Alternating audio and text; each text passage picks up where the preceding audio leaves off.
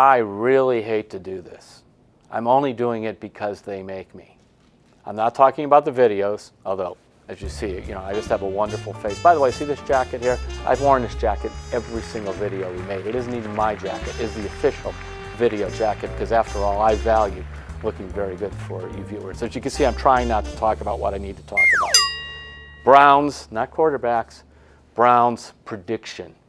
Browns prediction. I've got to make a prediction. They want me to make a prediction. I got to, they play 16 games. I think last year I had them with four wins. I only missed by three. They had one. They got a rookie quarterback. They get a bunch of young, they'll probably have the youngest team in the league. They open with the Steelers. Then they go to Baltimore. I have to make a prediction. All right, here's a couple things I can't say that, that are legitimate points before we get to the numbers. Number one, the first thing, the defense will be uh, enormously better.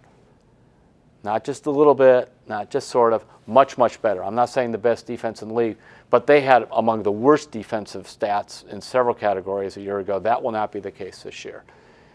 You know, it starts with the defensive coordinator, Gregg Williams, who is an impact coach when you hire him.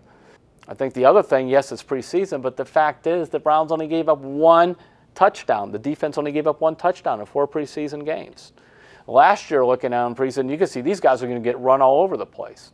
Yeah, I did a video a couple weeks ago. Well, the Browns stopped the run. Well, you go through the whole preseason. I'm not going to bury you in stats. The fact is, the Browns did stop the run in the preseason.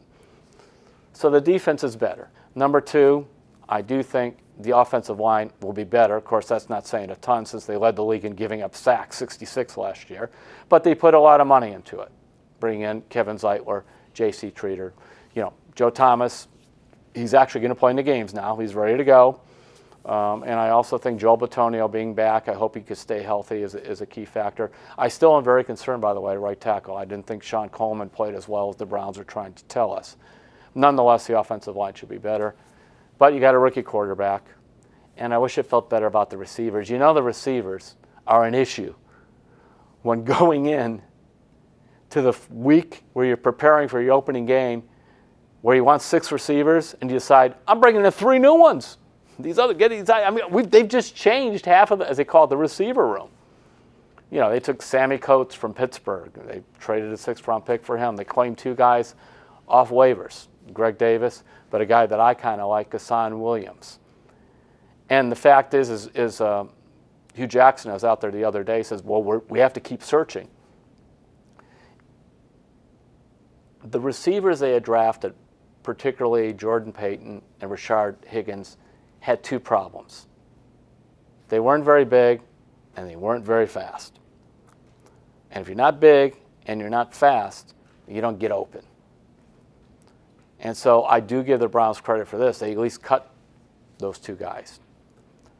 So a rookie quarterback searching for receivers, that bothers me a lot. It's getting to the point. The clock says I got to end this. Browns go 4 and 12.